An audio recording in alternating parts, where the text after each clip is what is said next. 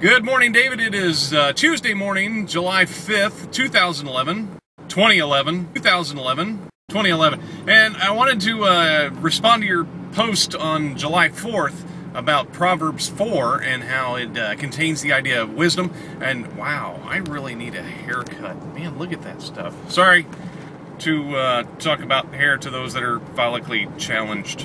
So anyway, getting back to wisdom. Well, first of all, I, I don't mean to copy Jesus is dangerous here with my uh, with my mobile vlog, and uh, uh, which, by the way, I, I think it is high time in our society that we come up with a name for what we call a uh, you know when you're vlogging in your car.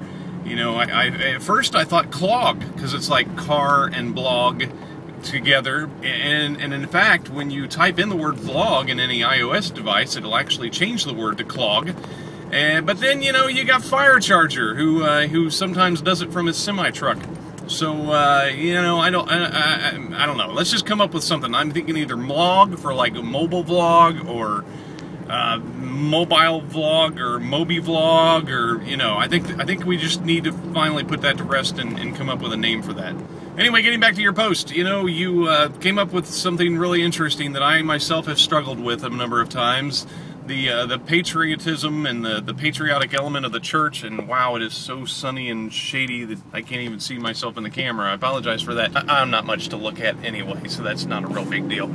But uh, yeah, that's that's something I've struggled with myself uh, from time to time. What do you do with that? And uh, you know, I've I've been in church and I say, wow, does this really have a place here? Is is, is patriotism getting in the way of our worship?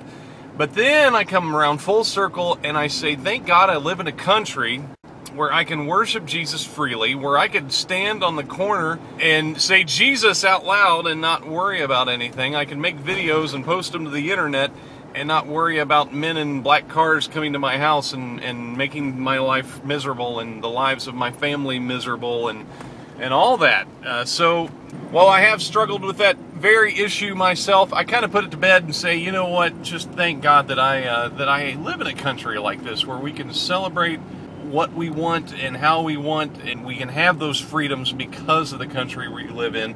So that's how I rectify that in my life. Now, getting back to Proverbs, you know, in in Psalm 111:10, it says that the uh, wisdom starts when the fear of Lord begins.